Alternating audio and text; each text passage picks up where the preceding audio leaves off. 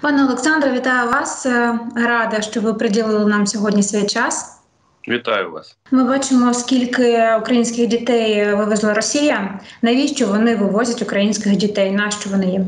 Ви бачите, що ситуація вона ж е, в принципі вкладається в те, що Українська Верховна Рада ще 14 квітня своїм рішенням назвала геноцид українського народу.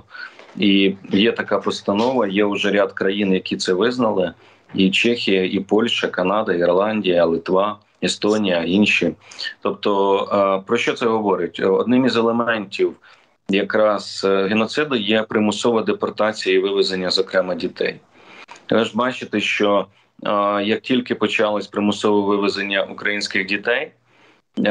Одразу з'явився указ президента Путіна в Росії про те, що дозволити спрощений порядок усиновлення таких дітей громадянам Російської Федерації. Для чого це робиться? Це робиться для того, аби е, позбавляти українську націю, український народ майбутнього, тобто генофонду дітей. І можливості фактично того, що діти будуть рости. Відповідно, в них будуть соціальні зв'язки свої. Вони ну будуть жити в Україні, там створювати в подальшому свої сім'ї, йти на роботу і так далі. І так далі тобто позбавити можливості фактично подальшого розвитку української держави, тому що що таке держава без людей? Ну, ну люди це взагалі ключовий елемент в усьому.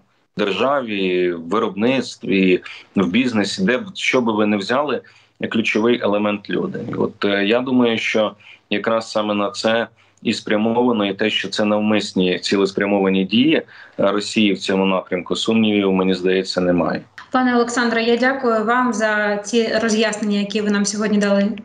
Дякую вам, дякую. І ми очікуємо на нову зустріч з вами. Звичайно ж, обов'язково. На все добре. Тоді побачимося з вами. На все добре.